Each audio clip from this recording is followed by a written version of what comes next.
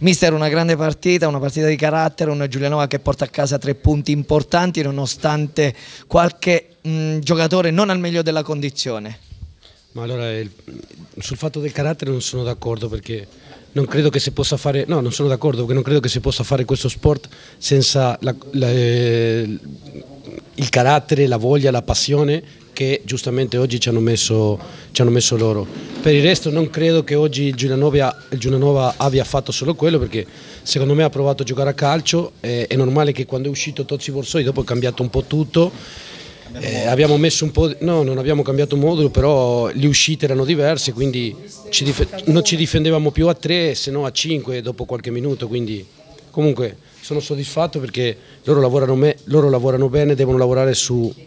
dobbiamo lavorare sulla loro testa perché fuori casa non possiamo, non possiamo più fare le prestazioni come quelle che, che abbiamo fatto a Iesi. Mister, sullo 0-0 prima del rigore concesso ce n'erano probabilmente due nell'arco di un minuto. Secondo me erano tutti i rigori che non ho dato, per me erano tutti, ora dopo l'arbitro, non, non, parlo mai dell'arbitro nel, nel, bene, nel male, non lo, non lo farò mai.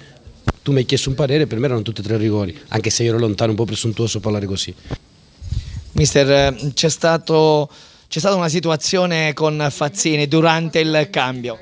No, non ti ho sentito, scusa. Dicevo, quando c'è stata la sostituzione di Fazzini, lei ha avuto qualcosa da ridire al suo giocatore? No, allora, quando, quando è uscito Fazzini ha avuto un atteggiamento nervoso,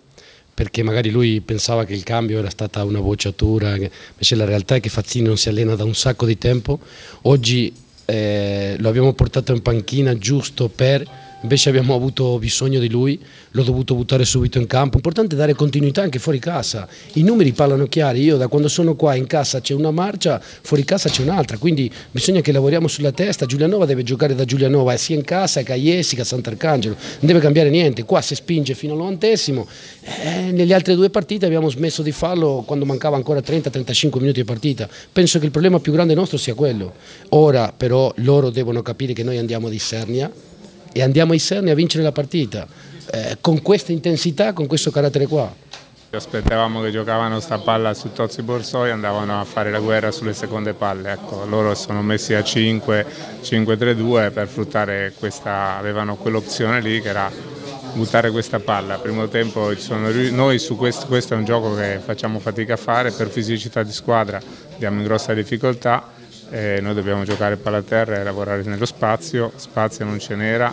palla a terra non ci stava mai perché il campo di sicuro non ti aiuta questo campo a giocare a calcio e quindi siamo andati primo tempo in difficoltà, secondo tempo loro quell'uscita non ce l'avevano e